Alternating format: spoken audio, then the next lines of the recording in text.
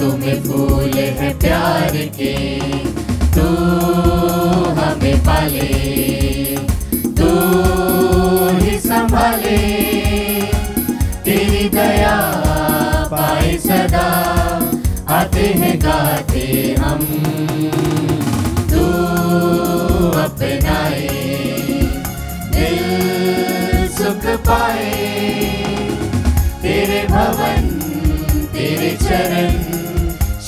झुकाते हम। हम तो बस यही मांगते, जीवन अपना हो सफल। आपकी आशीष से सुंदर बने हर एक पल। तू हमें पाले।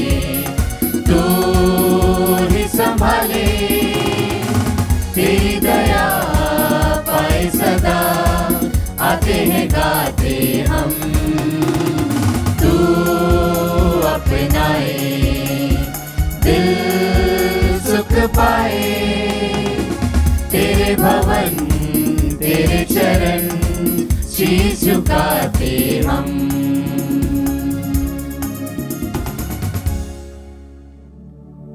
पिता और पुत्र पवित्र आत्मा के नाम पर।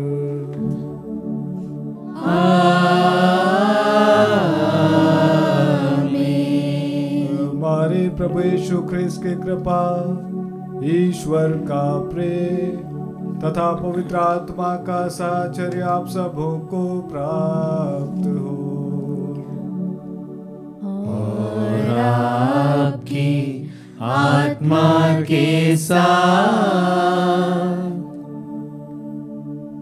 क्रिस में प्रिय विश्वासी भाई और बहनों आप सभी को मेरा प्यार भरा जयशु जय यीशु मैं आप सभी का इस पावन याग में भाग लेने के लिए स्वागत करता हूँ। आज विशेष रूप से हम आज के इस ख्रिस्त याग में हमारी बुलाहट पर मनन चिंतन करने वाले हैं। हर व्यक्ति बुलाया गया है फिर चाहे वो किसी भी परिस्थिति में क्यों ना हो। और उस बुलाहट में अपने आप को खरा उतारना ये सिर्फ़ हमारी ज़िम्मेदारी नहीं है। ये सिर्फ़ हमारा कार्य नहीं है। इस मिशन कार्य में, इस बुलाहट में ईश्वर का साथ होना बहुत ही ज़रूरी है। और इसीलिए क्रिस्त में प्रिय विश्वासी भाई और बहनों, आप जहाँ कहीं भी हैं, अपने घरों में बैठकर इस मिसा में भाग ले रहे हैं। या कहीं और बैठकर इसको सुन रहे हैं। आज प्रभु से अवश्य प्रार्थना करें कि हे प्रभु, आप मुझे और मेरे परिवार को आशीर्वाद दीजिए। आज मुझे पवित्र आत्मा से भर दीजिए ताकि जो बुलाहट आपने मुझे दी है, वो बुलाहट में मैं खरा उतर सकूँ। तो आइए हम सभी के निवेदनों को विशेष रूप से आज की मिसा बलिदान में अर्पित करते हैं। जिन भी भाई बहनों ने हमसे गुजारिश की है कि इस मिस्सा बलिदान में उनके लिए हम प्रार्थना करें हम विशेष रूप से उनके लिए भी प्रार्थना करते हैं।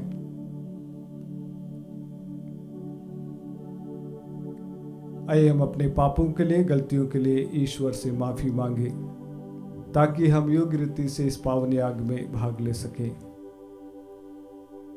हे भाइयों बहनों मैं सर्वशक्तिमान ईश्वर और आप लोगों के सामने स्वीकार करती हूँ कि मैंने मन वचन और कर्म से तथा अपना कर्तव्य पूरा न करने से, अपने कसूर से, अपने कसूर से, अपने भारी कसूर से घोर पाप किया है। इसलिए मैं नित्य कुमारी धन्य मरियम से, सब स्वर्गदूतों, संतों और आप लोगों से, हे भाइयों, बहनों, विनती करता हूँ कि आप लोग मेरे लिए प्रभु ईश्वर से प्रार्थना करें। सर्वशक्तिमान ईश्वर हम लोगों पर दया करे और हमारे पाप क्षमा कर हमको अनंत जीवन प्रदान करे। आमीन।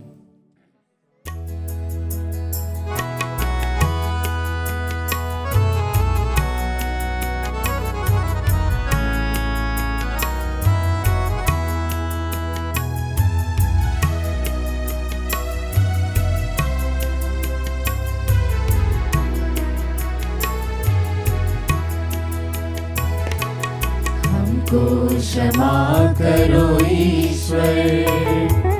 पाप से हमको बचा कर, प्रेम भाव से हम सभी को गले लगाना ईश्वर।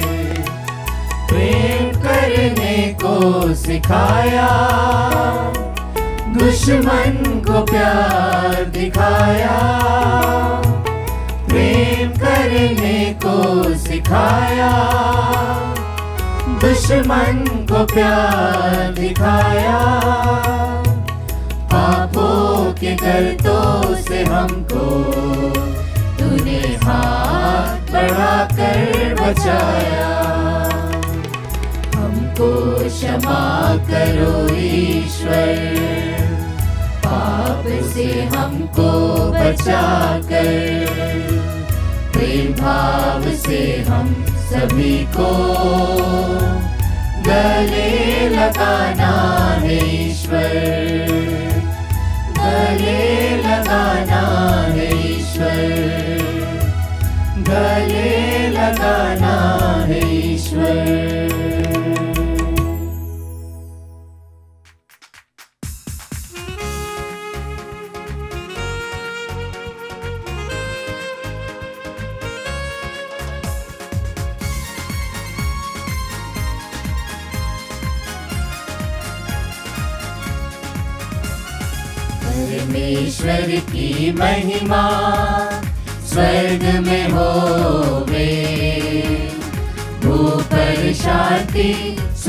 पाए परमेश्वर की महिमा, तेरी प्रशंसा, तेरी पूजा, तेरी आराधना, तेरी महिमा, तेरा गुणगान होवे सदा, तेरा गुणगान होवे सदा।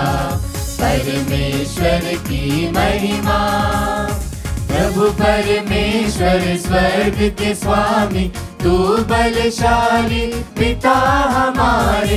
तेरा गुणगान होवे सदा, तेरा गुणगान होवे सदा।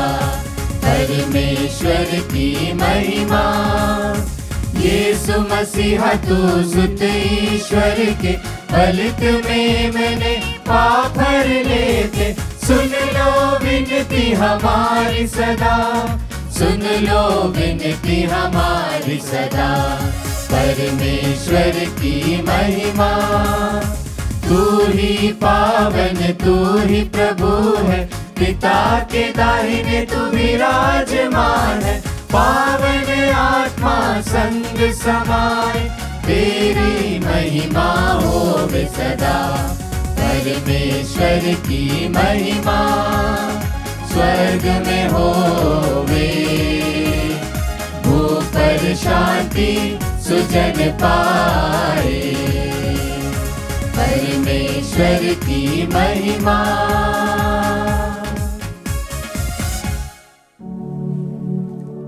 हम प्रार्थना करें। हे सर्वशक्तिमान सदा जीवंत ईश्वर, हमें अपने प्रेम के मार्ग पर अग्रसर कर, तेरे इकलौते पुत्र के नाम में हमारे पुण्य कर्मों की वृद्धि हो सके। ऐसी कृपा कर हमारे प्रभु, तेरे पुत्र यीशु ख्रिस्त के द्वारा, जो तेरे तथा पवित्र आत्मा के संग एक ईश्वर होकर युगानुग जीते और राज्य करते हैं।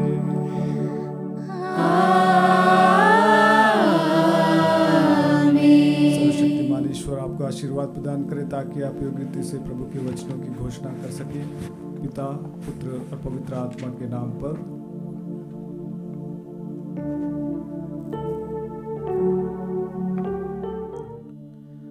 पहला पाठ। नबी ईसायस यह भविष्यवाणी करते हैं कि इज़राइलियों की परीक्षा तथा निर्वासन के बाद ईश्वर उन्हें मुक्ति दिलाएगा। वास्तव में ईसायस द्वारा निर्दिष्ट मुक्ति संसार भर के राष्ट्रों के लिए होगी। नबी ईसायस का ग्रंथ, अध्याय आठ, वाक्य संख्या तेईस अध्याय नौ और वाक्य संख्या तीन। पाठ का मूल सारांश इस प्रकार है। प्रभु ने भूतकाल में जबुलोन तथा नेफ्तालीम के प्रांतों को अपमानित होने दिया। किंतु भविष्य में वह यर्दन के उस पार समुद्र के पथ को, गैर यहूदियों की गलीलिया को महिमा प्रदान करेगा। अंधकार में भटकने वालों ने एक महती ज्योति देखी है।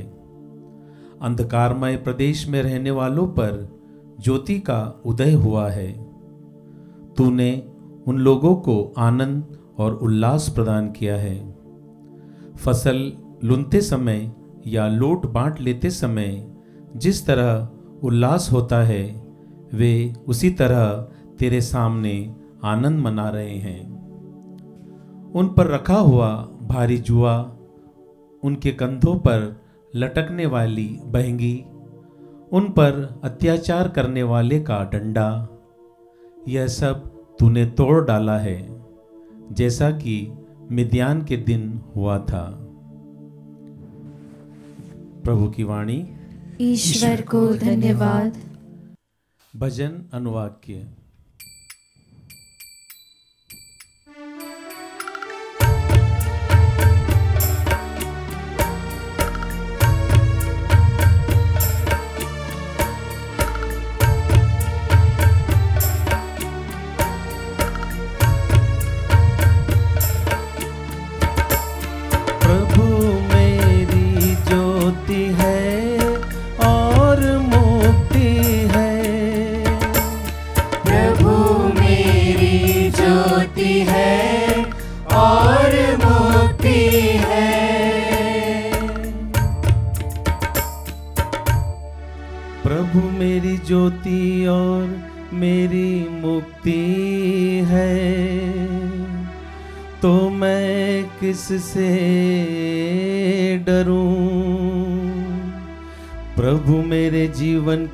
रक्षा करता है तो मैं किससे भयभीत हूँ?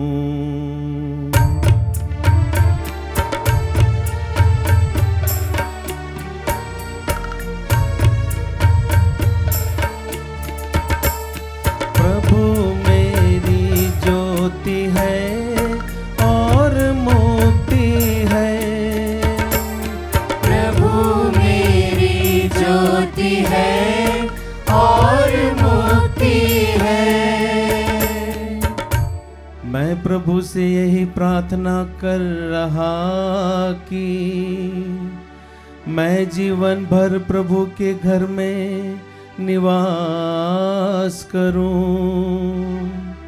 और प्रभु की मधुर छत्र छाया में रहकर उसके मंदिर में मनन करूँ।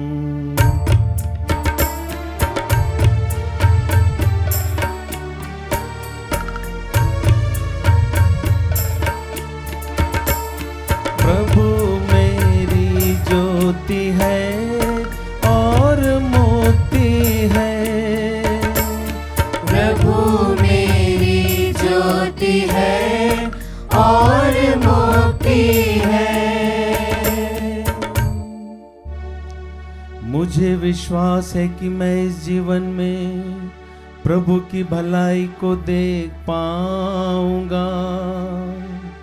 प्रभु पर भरोसा रखो, दृढ़ रहो और प्रभु पर भरोसा रखो।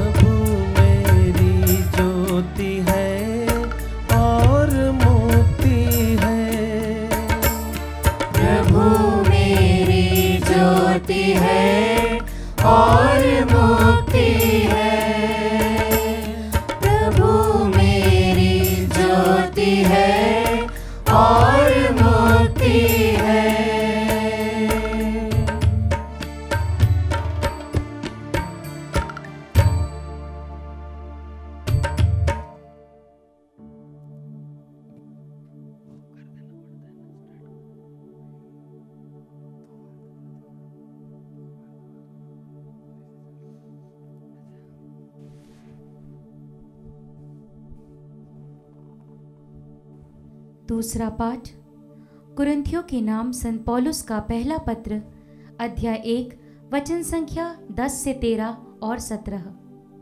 पाठ का मूल वाक्य है, आप लोग एक मत होकर दलबंदी से दूर रहें। भाइयों, हमारे प्रभु यीशु मसीह के नाम पर मैं आप लोगों से यह अनुरोध करता हूँ, आप लोग एक मत होकर दलबंदी से दूर रहें। आप एक दूसरे से मेल मिलाप करें और हृदय तथा मन से पूर्ण रूप से एक हो जाए। क्लोवे के घर वालों से मुझे पता चला कि आप लोगों में फूट पड़ गई है।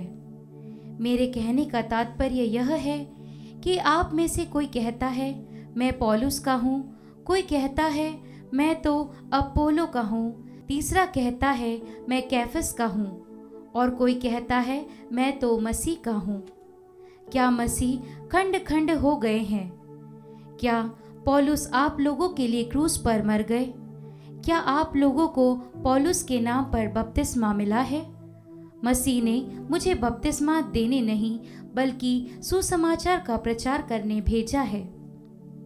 मैंने इस कार्य में अलंकृत भाषा का उपयोग नहीं किया, जिससे मसीह के क्रूस के संदेश का प्रभाव फीका न पड़ जाए।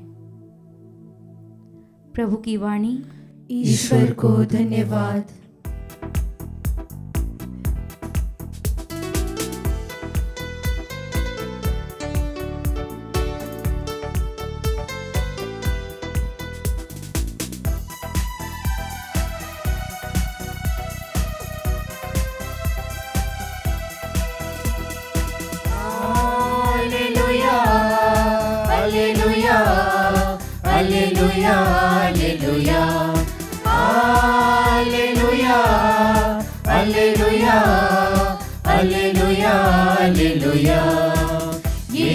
रहते दिल में हमारे आओ कर ले उसको प्रणाम वह हमारा है मुक्तिदाता देंगे पाप को मौत सदा hallelujah hallelujah hallelujah hallelujah hallelujah hallelujah hallelujah प्रभु आप लोगों के साथ हो। और आपकी आत्मा के साथ। संत मती के अनुसार पवित्र सुसमाचार। हे प्रभु तेरी महिमा हो। यीशु ने जब सुना कि योहन गिरफ़्तार हो गया है तो वह गलीलिया चले गए। वह नाजरेत नगर को छोड़कर जबुलोन और नफ्तालिन के प्रांत में समुद्र के किनारे बसे हुए कफरनाहुम नगर में रहने लगे। इस तरह नबी ईसाइस का यह कथन पूरा हुआ। जबुलोन प्रांत, नफ्तालिन प्रांत, समुद्र के पथ पर, यर्दन के उस पार, गैर यहूदियों की गलीलिया, अंधकार में रहने वाले लोगों ने एक महती ज्योति देखी है। मृत्यु के अंधकारमय प्रदेश में रहने वालों पर ज्योति का उदय हुआ है।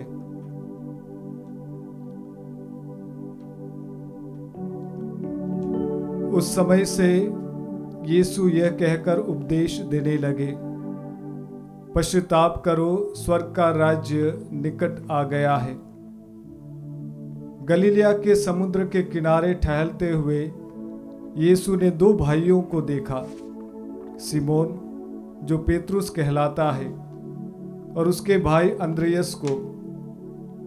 वे समुद्र में जाल डाल रहे थे, क्योंकि वे मछुए थे। यीशु ने उनसे कहा, मेरे पीछे चले आओ। मैं तुम्हें मनुष्य के मछुए बनाऊँगा। वे तुरंत अपने जाल छोड़कर उनके पीछे हो लिए। वहाँ से आगे बढ़कर यीशु ने और दो भाइयों को देखा, जबेदी के पुत्र याकूब और उसके भाई योहन को। वे अपने पिता जबेदी के साथ नाव में अपने जाल मरम्मत कर रहे थे। यीशु ने उन्हें बुलाया। वे तुरंत नाव और अपने पिता को छोड़कर उनके पीछे हो लिए। यीशु उनके सभागृहों में शिक्षा देते राज्य के सुसमाचार का प्रचार करते और लोगों को हर तरह की बीमारी और निर्बलता को दूर करते सारी गलीलिया में घूमते रहते थे। यह प्रभु का सुसमाचार है। हे तेरी स्तुति हो। क्रिस में प्रिय विश्वासी भाई और बहनों मैं एक पल्ली में रिट्रीट के लिए गया हुआ था। तीन दिन की साधना थी और साधना के बाद में जब मैं अपने कमरे की ओर लौट रहा था, तभी एक सिस्टर आई और मुझसे गुजारिश करने लगी, फादर जी, आपसे बातें करना है। मैंने कहा, ठीक है सिस्टर, बोलिए आपको क्या बात करना है? और उस सिस्टर ने मुझे कहा, बातों के दौरान उन्होंने कहा कि, फादर जी, आप मेरे भतीजे के लिए प्रार्थना करना। मैंने कहा, क्या हुआ भतीजे भतीजे को? उसने कहा, मेरा भतीजा अभी बिना शादीशुदा है। उसको कोई जॉब नहीं है, कोई उसकी नौकरी नहीं है। आपसे प्रार्थना करती हूँ कि आप मेरे भतीजे के लिए प्रार्थना करना। और जाने के पहले उन्होंने एक वाक्य रिपीट करके गई, दो तीन बार उन्होंने कहा मुझे, पता नहीं फादर जी क्यों घर पर अगर कुछ प्रॉब्लम होती है, समस्या होती है तो मैं बड़ी बेचैन हो जाती हूँ, मैं परेशान हो जाती हूँ। प्रार्थना करने में मन नहीं लगता है, बड़ा अटपटा सा लगता है। मैंने कहा, सिस्टर मैं ज़रूर आपके लिए और आपकी फैमिली के लिए प्रार्थना करूँगा। और उस सिस्टर की उम्र थी साठ साल। क्रिस में प्रिय विश्वासी भाई और बहनों, आज आपके सामने बुलाहट का द्वंद्व क्या होता है इस पर मनन चिंतन करना चाहूँगा। बुलाहट में हर व्यक्ति एक आंतरिक द्वंद्व से गुजरता है। बुलाहट में हर व्यक्ति के अंदर एक घमासान युद्ध चलता है। इस विषय पर मन चिंतन करने के पहले आपसे ये शेयर करना चाहूँगा, वास्तव में बुलाहट क्या है? बुलाहट ईश्वर का बुलावा और हमारा प्रत्युत्तर है। ईश्वर की बुलाहट और हमारी हाँ है। ये दोनों तरफ़ की बुलाहट है, ये एक तरफा बुलाहट नहीं है। इसका अर्थ ये है कि अगर ईश्वर ने मुझे बुलाया है तो मेरी मर्ज़ी के बिना ईश्वर मुझे नहीं बुला सकता है। और मेरी बुलाहट में मेरी हाँ है, मेरी बुलाहट में मेरी मर्ज़ी है, मेरी बुलाहट में मेरी परमिशन है। और इसीलिए ख्रिस में, प्रिय विश्वासी भाई और बहनों, इसीलिए हम अपनी बुलाहट में जिम्मेदार हैं। और हम कैसे बुलाए जाते हैं? हम अपनी परिस्थितियों के अनुसार बुलाए जाते हैं। हम कोई संत परिवार से नहीं आते हैं। हम कोई कहीं ऊपर से बुलाए नहीं जाते हैं। हम हमारे परिवार से, हमारी भाषा से, हमारी संस्कृति से, हमारा घर परिवार जैसा है, वैसी परिस्थिति से हम बुलाए जाते हैं। इसका उदाहरण आज के सुसमाचार में हमें मिलता है। हम देखते हैं कि शिष्य जिनको प्रभु आज बुलाता है, वे मछुआरे थे। और हम पाते हैं कि वे अपने अपने कार्यों में व्यस्त थे अपने अपने कार्य करने में लगन से कार्य कर रहे थे। हम पाते हैं कि वे अपनी जाल मरम्मत कर रहे थे और ऐसी परिस्थिति में प्रभु उन्हें बुलाता है। क्रिस में, प्रिय भाई और बहनों, आज एक प्रश्न अवश्य अपने आप से पूछें। क्या मैं जिस परिवार में हूँ, मुझे उस परिवार पर गर्व है? क्या मैं जिस परिस्थिति में हूँ, क्या मुझे उस परिस्थिति पर गर्व है? क्या मैं जो भाषा बोलता हूँ, जो संस्कृति से मैं आया हूँ, क्या वो संस्कृति मेरे दिल में और मन में बसी हुई है?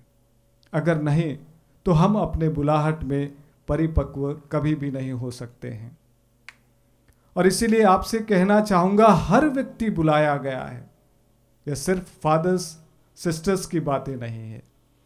हर व्यक्ति अलग अलग कार्य करने के लिए प्रभु के द्वारा बुलाया गया है। हो सकता है आप पारिवारिक जीवन जीने के लिए बुलाए गए हैं। हो सकता है आज इस समय आप में से कुछ लोग पढ़ाई करने के लिए बुलाए गए हैं। हो सकता है उन कुछ लोगों में कोई पुरोहित, कोई धर्म भाई, कोई धर्म बहन बनकर जीवन जीने के लिए बुलाए गए हैं। आपके सामने तीन महत्वपूर्ण बिंदु पर विचार विमर्श करूँगा, मनन चिंतन करूँगा। सबसे पहला है, ये ईश्वर का कार्य है, ये हमारा कार्य नहीं है। बुलाहट ईश्वर का कार्य है।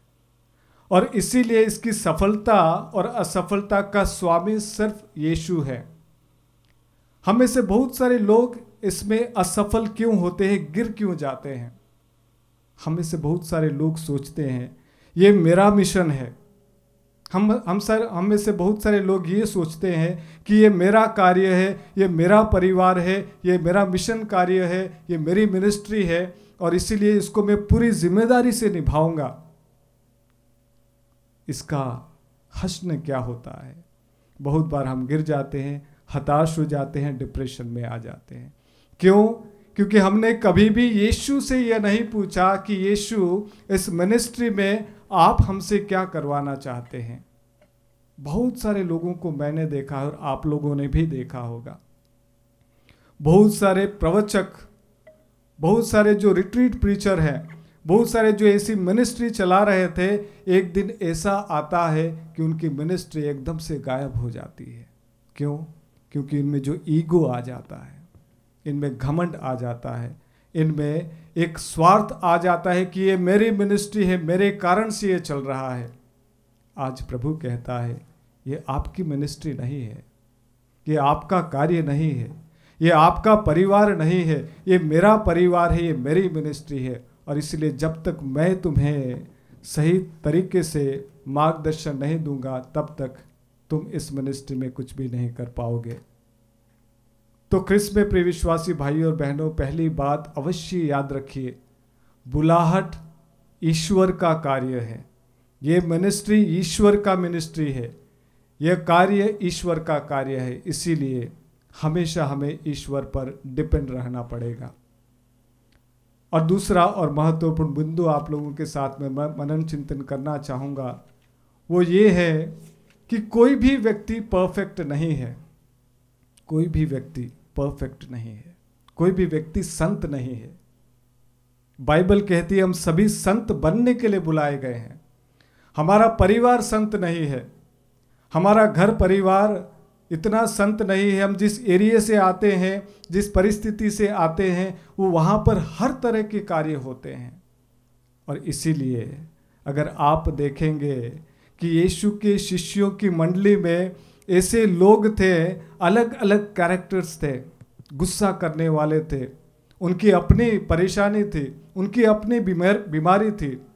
अगर आप संत पॉलुस के बारे में पढ़ेंगे कुरुंथियों के नाम पहले पत्र में हम पढ़ेंगे संत पौलुस कहता है, मैं कभी घमंड ना करूँ, इसलिए प्रभु ने मेरे शरीर में एक कांटा चुबो दिया है। इस बात को थोड़ा सा गहराई से समझें। हमें पता नहीं है वास्तव में कि संत पौलुस के शरीर में कैसे कौन सा काटा था? वो कहता है कि मुझे शैतान का दूत मेरे पीछे लगा दिया गया है। वो मुझे हर समय लात धूसे मारता रहता है। क्यों? कि, क्योंकि मैं कभी घमंड नहीं करूँ। ख्रिस में प्रिय विश्वासी भाई और बहनों, बहुत सारे लोग शिकायत करते हैं कि मेरी ये बीमारी है, यीशु मेरी बीमारी को ठीक क्यों नहीं कर देता है? मेरे घर में ये शराब पीता है, ये परेशान है, ये लड़ाई झगड़ा करता है, इतने सालों से मैं प्रार्थना कर रहा हूँ या कर रही हूँ, क्यों ईश्वर इसको चंगाई नहीं देता है? मेरी बुलाहट में, मेरे शरीर में, मेरे व्यक्तिगत जीवन में ये कमज़ोरी है, इसको मैं कब से त्यागने की कोशिश कर रहा हूँ, क्यों यीशु मुझे शक्ति नहीं देता है, मैं त्याग त्याग क्यों नहीं कर पा रहा हूँ? हो सकता है क्रिस में, प्रिय विश्वासी भाई और बहनों ये एक ऐसा कांटा हो, जिसके ज़रिए प्रभु आपको विनम्र बनाना चाहता है। हो सकता है ये एक ऐसी ज़िम्मेदारी हो, जिसके द्वारा प्रभु आपको और भी परिपक्व करना चाहता है। हो सकता है प्रभु इसके ज़रिए किसी और को आपके थ्रू आशीर्वाद देना चाहता है। और इसीलिए आपसे गुजारिश करना चाहूँगा, फिर चाहे आप कौन सी भी परि, कैसी भी परिस्थिति में क्यों ना हो आप शादीशुदा हो, पारिवारिक जीवन जी रहे हो, आपके स्ट्रगल्स जब आप स्ट्रगल करते हैं कि मेरी बुलाहट में ये स्ट्रगल है, आज प्रभु कहता है, मैं संतों को बुलाने के लिए नहीं आया हूँ। उस स्ट्रगल के दौरान आप आपके जीवन को कैसे मीनिंगफुल बनाते हैं? उस स्ट्रगल्स उस बीमारी के दौरान आप आपकी लाइफ को कैसे दूसरों के लिए उपयोगी बनाते हैं? ये आज आपको अपने आप से प्रश्न करना है। तीसरी और महत्वपूर्ण बात, बुलाहट में खरा उतरने के लिए हमें एक दूसरे की मदद की ज़रूरत होती है। अगर कोई व्यक्ति स्ट्रगल करता है, परेशान होता है, अगर किसी परिवार में लड़ाई झगड़ा होता है, शादीशुदा जीवन टूट रहा है, उनका रिश्ता एक दूसरे से टूट रहा है, वे एक दूसरे से दूर चले जा रहे हैं, अगर आपको पता है तो क्रिस में प्रिय विश्वासी भाई और बहनों ये आपकी भी ज़िम्मेदारी है कि उनकी बुलाहट को अच्छे से जीवन जीने के लिए आपकी मदद मिल सके। अगर किसी परिवार से कोई लड़का फादर बनने के लिए गया है, कोई सिस्टर बनने के लिए लड़की गई हुई है, या किसी परिवार से फादर सिस्टर ऑलरेडी बने हुए हैं, उन परिवारों से गुजारिश करना चाहूँगा। जब हम लोग आपसे पूछते हैं कि मेरी ये स्ट्रगल है और हम लोग आपसे कहते हैं कि आप ऐसा मत करिएगा। आपका जवाब होता है कि आप फादर बन गए हैं, आप सिस्टर बन गए हैं, आपने परिवार छोड़ दिया है, आपको दुनियादारी से कोई मतलब नहीं है। आज आपसे कहना चाहूँगा, हर जो बात परिवार में घटित होती है, हर जो बात घर में घटित होती है, वो हर व्यक्ति जो पुरोहित हैं, हर व्यक्ति जो सिस्टर हैं, हर जो बच्चा फादर बनने के लिए गया है हर जो लड़की सिस्टर बनने के लिए गई है, उसको बहुत प्रभावित करता है। आपका जीवन वहाँ पर कैसा है, उसी के अनुसार आपका बेटा या बेटी फादर या सिस्टर बनेगा।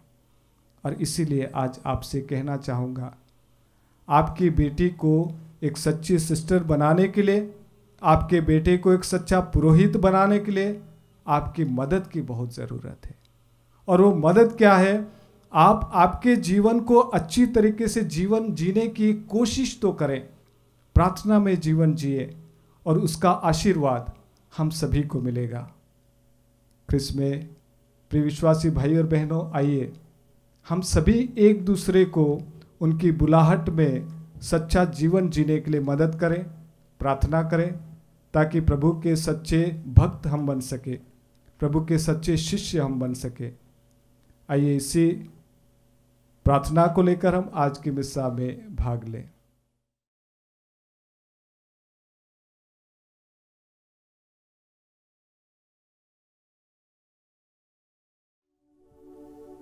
आइए हम सभी अपने विश्वास की घोषणा करने के लिए खड़े हो जाए।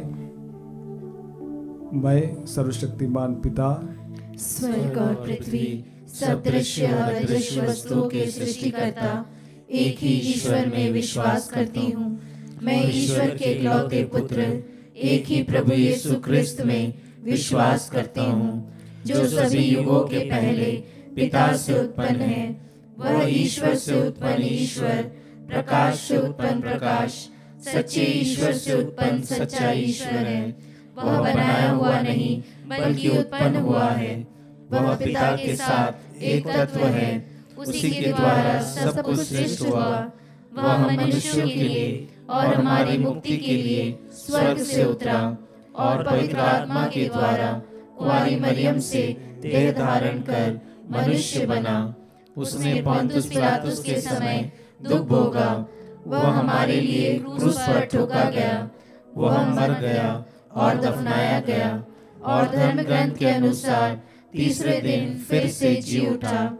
वह स्वर्ग में आरोहित हुआ और पिता के दाहिने विराजमान है। वह जीवितों और मृतकों का न्याय करने, महिमा के साथ फिर आएगा, और उसके राज्य का कभी अंत नहीं होगा।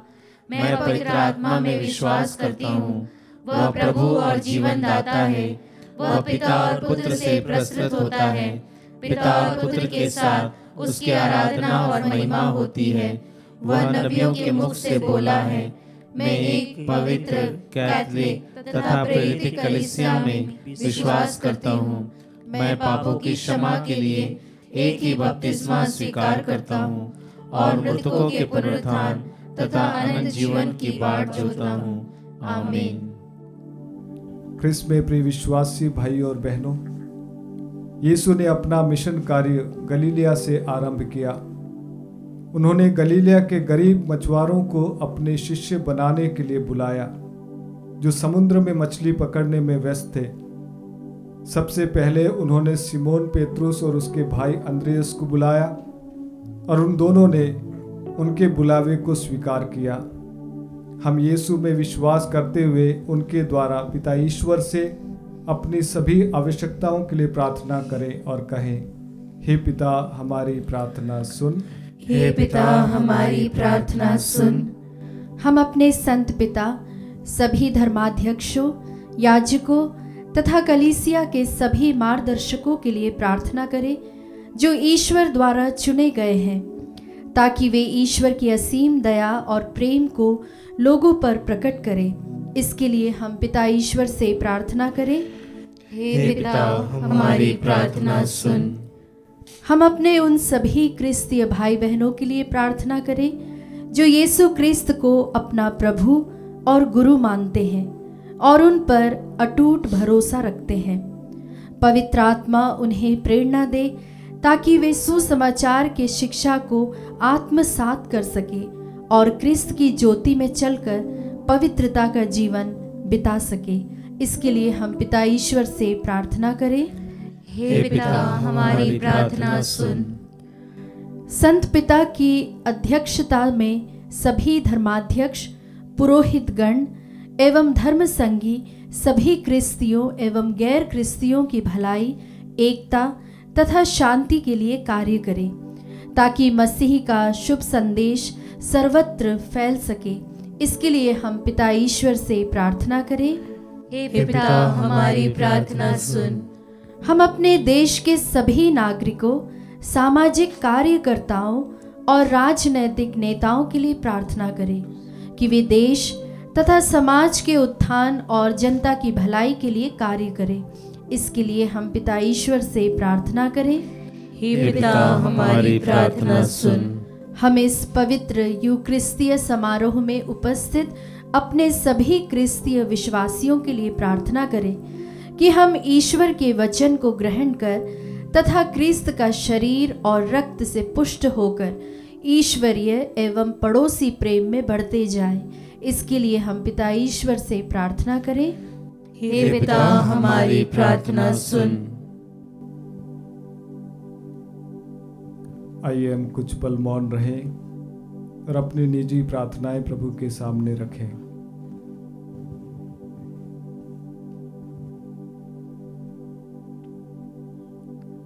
हम प्रार्थना करें। हे स्वर्गिक पिता ईश्वर अपने पुत्र यीशु को हमें उपहार के रूप में देने के लिए हम तुझे धन्यवाद देते हैं जिन्होंने गरीब मछुआरों को अपने शिष्यों के रूप में चुना। अपनी दिव्य ज्योति से हमें प्रकाशित कर ताकि हम तेरे राज्य में प्रवेश करने की योग्य बन सके। हम ये प्रार्थना करते हैं अपने प्रभु ख्रिस्त के द्वारा। आमीन।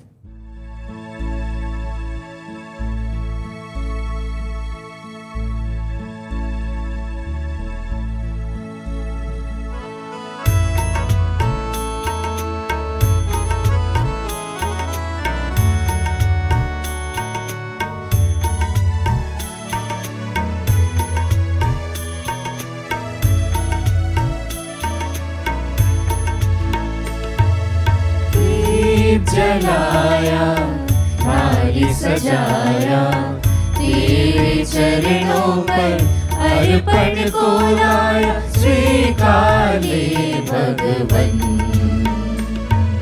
स्वीकार ले भगवन।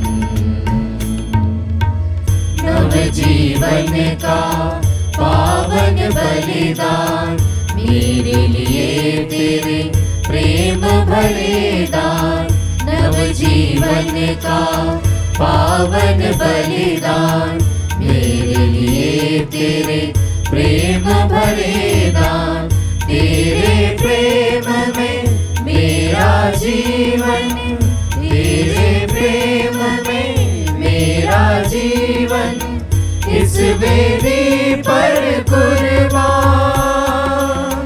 इस वेदी पर कुर्बान। आ,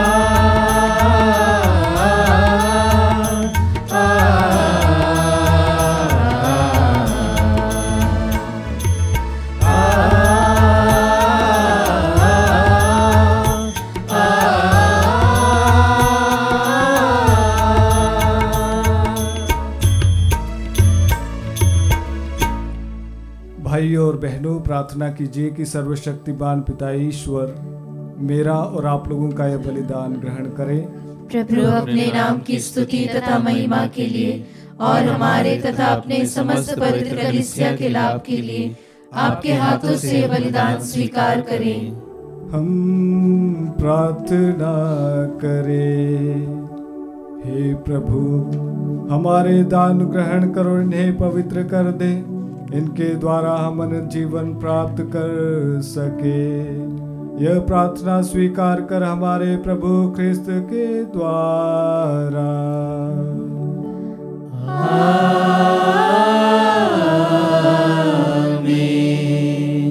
प्रभु आप लोगों के साथ हो। और आपकी आत्मा के साथ लगाइए हम प्रभु में मन लगाए हुए हैं। अब अपने प्रभु ईश्वर को धन्यवाद दे। यह उचित और न्याय संगत प्रभु, पवित्र पिता, सर्वशक्तिमान और शाश्वत ईश्वर। ये वास्तव में उचित और न्याय संगत है। हमारा कर्तव्य तथा कल्याण है कि हम सदा और सर्वत्र अपने प्रभु यीशु ख्रिस्त के द्वारा तुझे धन्यवाद दें। हे पिता, इन्होंने मानव जन्म लेकर पतित मानव का नव निर्माण किया है और अपने दुख भोग द्वारा हमारे पाप मिटा दिए हैं। अपने पुनरुत्थान द्वारा हमें अनंत जीवन में प्रवेश करने की कृपा दी है और अपने स्वर्गारोहण द्वारा हमारे लिए स्वर्ग के द्वार खोल दिए हैं। इसीलिए स्वर्गदूतों और संतों की संगति में हम अनंत काल तक तेरी प्रशंसा के गीत गाते हैं।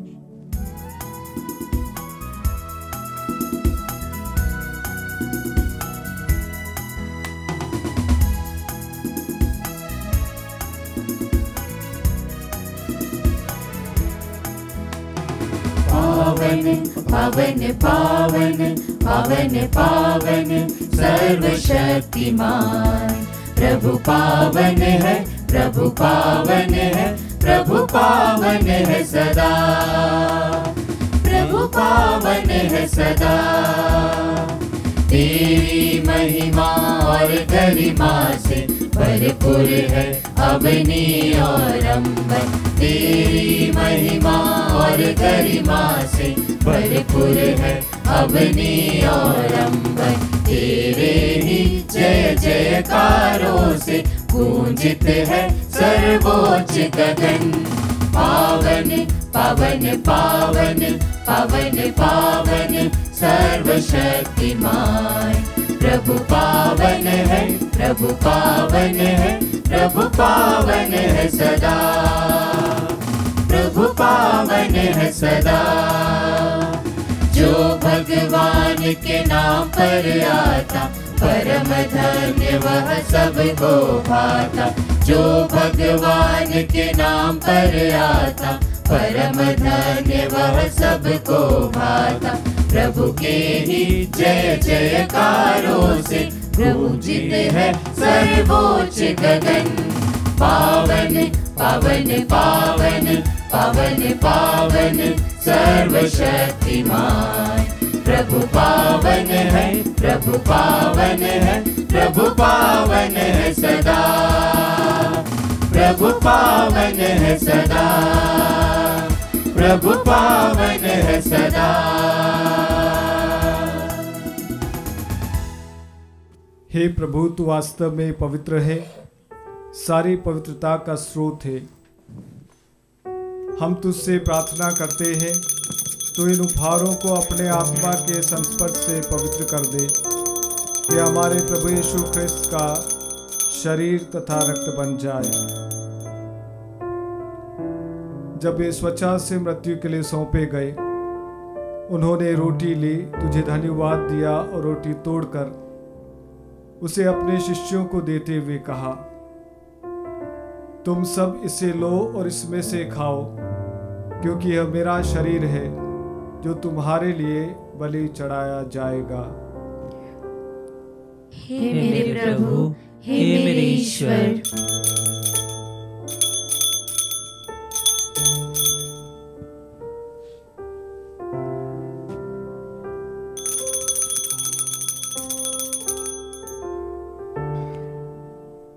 इसी भांति भोजन के बाद उन्होंने कटोरा लिया। तुझे धन्यवाद दिया और उसे अपने शिष्यों को देते हुए कहा, तुम सब इसे लो और इसमें से पियो, क्योंकि यह मेरे रक्त का कटोरा है, नवीन और अनंत व्यवस्थान का रक्त, जो तुम्हारे और बहुतों के पापों की क्षमा के लिए बहाया जाएगा। तुम मेरी स्मृति में यह करो। हे मेरे प्रभु, हे मेरे ईश्वर।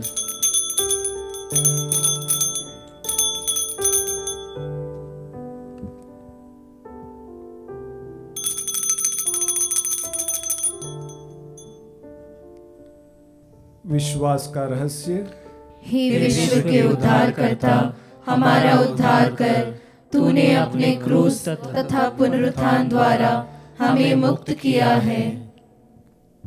इसलिए हे प्रभु हम क्रिस्त की मृत्यु और पुनरुत्थान की स्मृति में तुझे जीवन की रोटी और मुक्ति का कटोरा चढ़ाते हैं।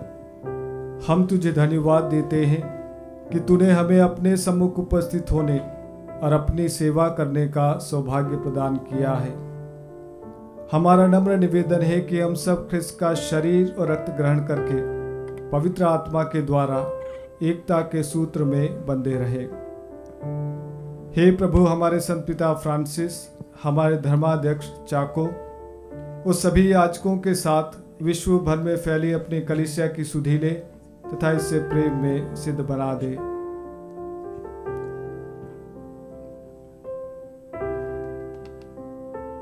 हमारे उन भाई बहनों की भी सुधि ले जो पुनरुत्थान की आशा में परलोक सुधार चुके हैं। उन्हें और सभी मृतकों को अपने दर्शन का सौभाग्य प्रदान कर हम सब पर दया दृष्टि डाल कि हम भी अनंत जीवन के सहभागी बने। और ईश्वर की माता धन्य कुमारी मरियम, उनके वर धन्य योसेफ, धन्य प्रेरितों तथा सभी संतों के साथ, जो युग युग में तेरे प्रति विश्वस्त बने रहे। तेरी स्तुति और महिमा कर सके तेरे पुत्र यीशु ख्रिस्त के द्वारा।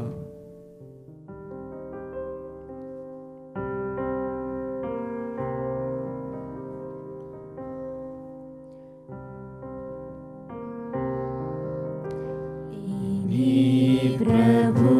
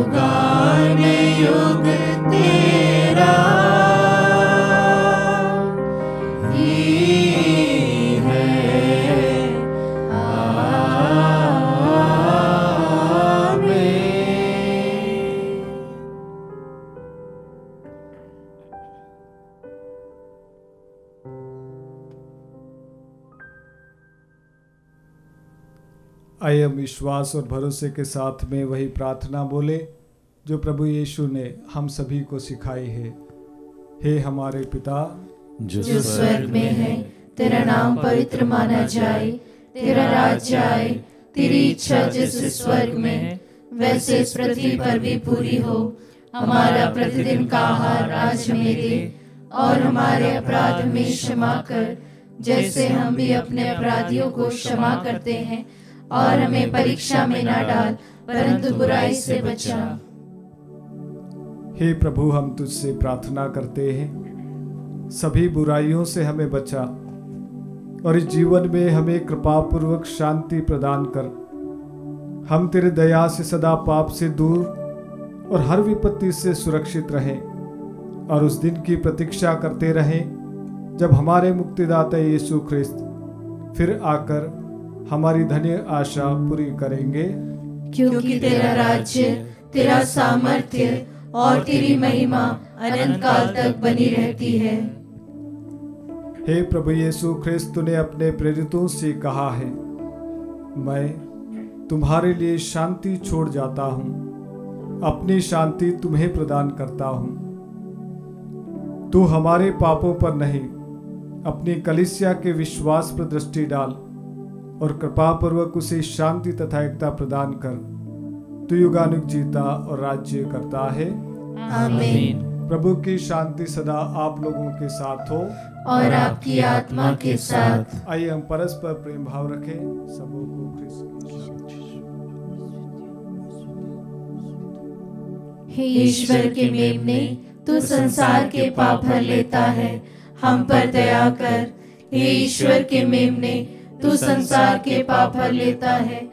हम पर दया कर, हे ईश्वर के मेमने, तू संसार के पाप भर लेता है। हमें शांति प्रदान कर।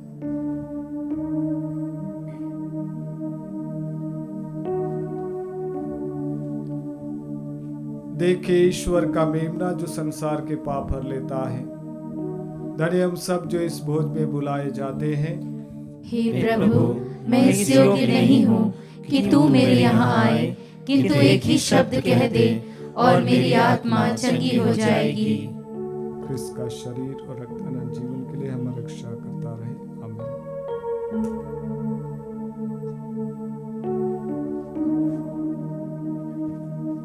हे मेरे प्रभु यीशु मैं सारे हृदय से विश्वास करती हूँ कि आप पवित्र यूक्रिस्तीय संस्कार में उपस्थित हैं। हे प्रभु, मैं सभी चीज़ों से बढ़कर आपको प्रेम करती हूँ। और मेरी यही अभिलाषा है कि आप मेरी आत्मा में आकर बस जाएँ। क्योंकि हे प्रभु, मैं आपको आज ग्रहण करने में असमर्थ हूँ। हे प्रभु, आध्यात्मिक रूप से आकर मेरे हृदय में समा जाइए। हे यीशु, मैं आज आप में एक होना चाहती हूँ और आप में समा जाना चाहती हूँ। हे प्रभु, यह कभी ना होने पाए कि मैं आपसे कभी अलग हो जाऊँ। आमीन। हम प्रार्थना करें। हे सर्वशक्तिमान ईश्वर, तूने हमें नवजीवन की कृपा प्रदान की है। तेरे इस उपहार के लिए हम सदा तेरी महिमा करें। ये प्रार्थना स्वीकार कर हमारे प्रभु ख्रिस्त के द्वारा। आमीन। प्रभु आप लोगों के साथ हो। और आपकी आत्मा के साथ। सर्वशक्तिमान ईश्वर पिता पुत्र और पवित्र आत्मा आप लोगों को आशीर्वाद प्रदान करें। आमीन। हम लोग विद्यालय प्रभु के प्रेम और शांति में जीवन बिताए। ईश्वर को धन्यवाद।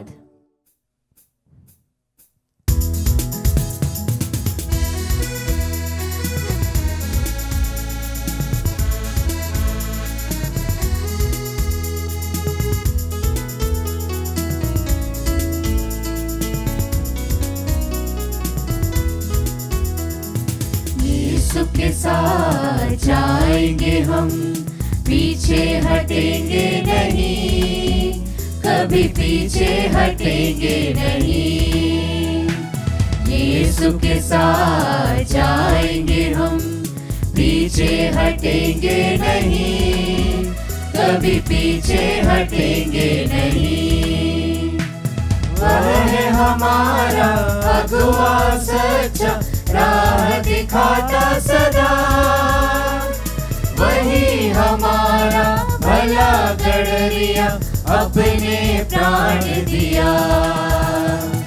यीशु के साथ जाएँगे हम, पीछे हटेंगे नहीं, कभी पीछे हटेंगे नहीं। यीशु के साथ जाएँगे हम, पीछे हटेंगे नहीं। कभी पीछे हटेंगे नहीं।